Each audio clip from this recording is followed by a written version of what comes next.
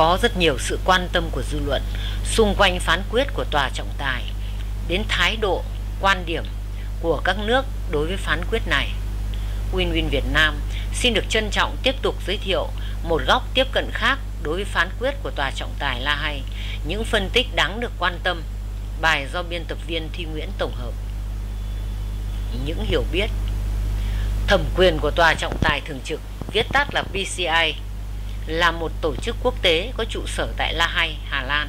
thành lập năm 1899 tại Hội nghị Hòa bình Hague đầu tiên. Thẩm quyền được trao tại phụ lục số 7 của Công ước Quốc tế về luật biển 1982 UNCLOS 1982 Tòa trọng tài thường trực VCA không phải là tòa án theo đúng nghĩa nó giống như một cơ quan tư vấn pháp lý không có các quyền quyết định trực tiếp chỉ có chức năng hỗ trợ thành lập các tòa án trọng tài và tạo thuận lợi cho việc giải quyết tranh chấp. Tại La Hay ở Hà Lan cũng có một tòa khác của Liên Hiệp Quốc, đó là Tòa án Công lý Quốc tế. Tên viết tắt là ICJ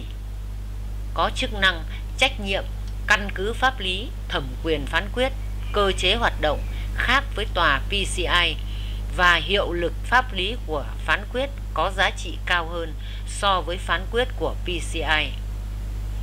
Theo phụ lục số 7 của UNCLOS 1982 thì PCI không có thẩm quyền phân xử chủ quyền trên biển và hải đảo. Một phần thẩm quyền phân xử chủ quyền được trao cho tòa trọng tài đặc biệt được thành lập theo phụ lục số 8 của UNCLOS 1982.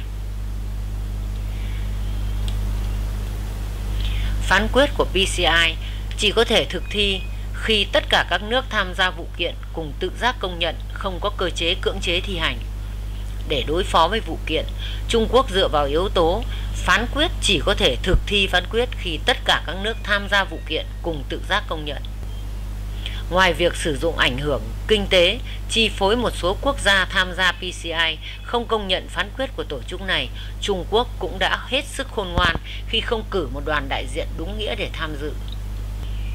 Đối với nội dung của phán quyết của tòa PCA ngày 12 tháng 7 vừa qua, các hãng truyền thông Mỹ và phương Tây bản tiếng Việt và nhiều tòa báo trong nước đã tập trung vào việc cắt đường lưỡi bò mà không hề để ý đến thực chất của các phán quyết khác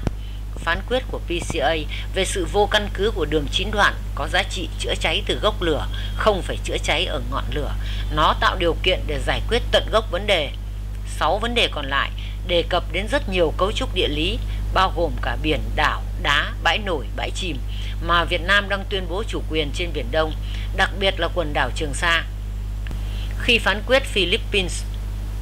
có lý và có quyền chủ quyền đối với các khu vực liên quan mà Việt Nam đã tuyên bố chủ quyền đồng nghĩa với việc thừa nhận rằng các khu vực đó không phải là của Việt Nam. Đó chính là cái mà Philippines gọi là khu Kalayam bao trùm gần hết quần đảo Trường Sa, mặc dù Philippines không đề cập đến tên gọi này trong đơn kiện. Đồng thời, thừa nhận đó là vấn đề song phương của Philippines và Trung Quốc, những khu vực nằm trong ảnh hưởng của phán quyết không có chỗ cho Việt Nam.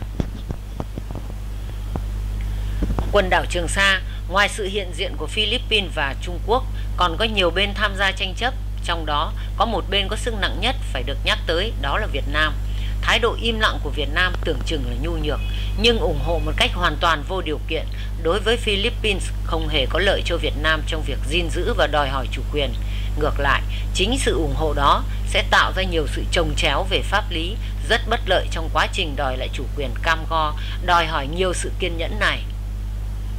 đối với Philippines.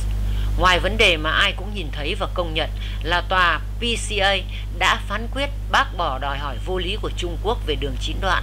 Trong một phán quyết về quyền đánh cá tại bãi cạn Sakbukrat, tòa phán rằng cả hai nước đều có quyền được đánh cá trên ngư trường truyền thống tại bãi Sakborat. Philippines đã xa vào cái bẫy, biến vùng không có tranh chấp thành vùng có tranh chấp. Về vấn đề một số thực thể địa lý ở Trường Sa bị Trung Quốc chiếm đóng trái phép, tòa PCI phán mở rộng rằng các cấu trúc ở Trường Sa đều thuộc dạng đá mà không phải là đảo. Không một cấu trúc nào ở Trường Sa có khả năng duy trì đời sống con người ở đó, nên không có điểm nào có vùng đặc quyền kinh tế hay thềm lục địa.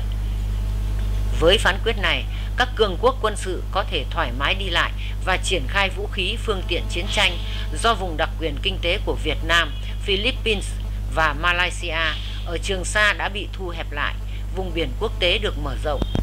Trung Quốc cũng sẽ hạn chế được sự phản đối của các nước ven Biển Đông khi họ triển khai các hoạt động thăm dò, khai thác và cả các hoạt động quân sự trong vùng biển quốc tế đó, chủ yếu là Việt Nam và Philippines, sau đó đến Malaysia và gần đây là Indonesia.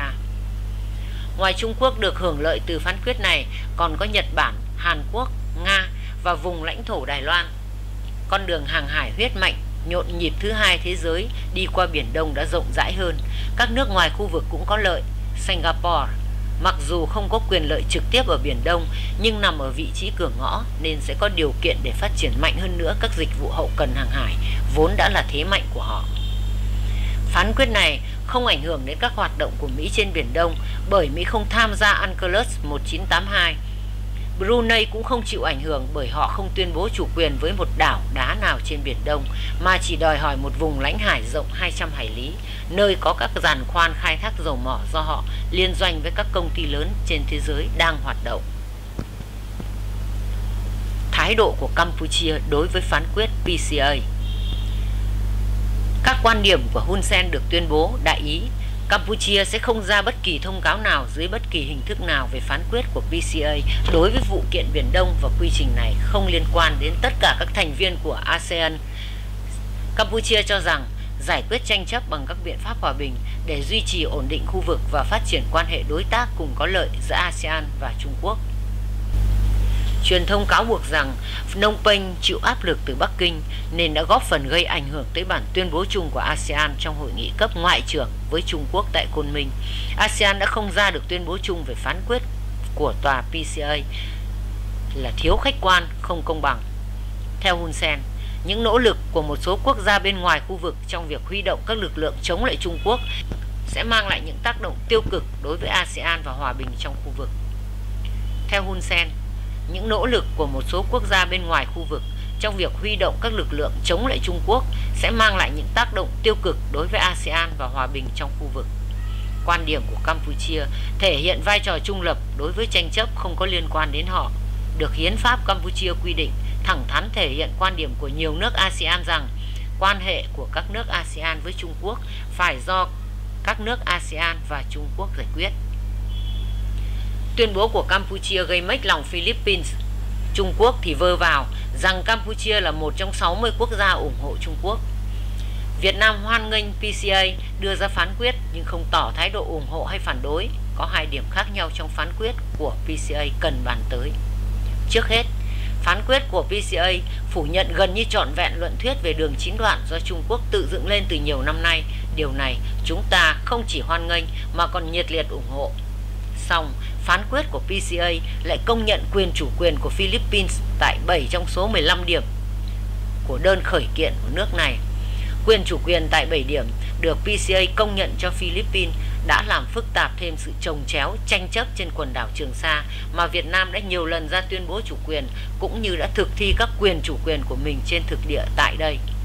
Việc Campuchia phản đối phán quyết của PCA cũng là một động thái có lợi cho Việt Nam. Đồng thời, Phnom Penh cũng không tạo ra được cái cớ để các thế đối lập chống Việt Nam tại Campuchia như đảng CNRP của Samrai, đảng Khmer Krom KKK có cớ vu cáo chính phủ của Campuchia phụ thuộc Việt Nam. Thái độ của Liên bang Nga Cho đến nay, Nga vẫn là bạn bè truyền thống với Việt Nam, quan hệ giữa hai nước ở cấp độ đối tác chiến lược toàn diện đặc biệt. Trong sự kiện, Tòa trọng tài PCA ra phán quyết về vụ kiện của Philippines. Phía Nga đã ít nhất có 3 lần bày tỏ quan điểm của mình về vấn đề Biển Đông và cả 3 lần đều từ cấp Bộ trưởng Ngoại giao trở xuống.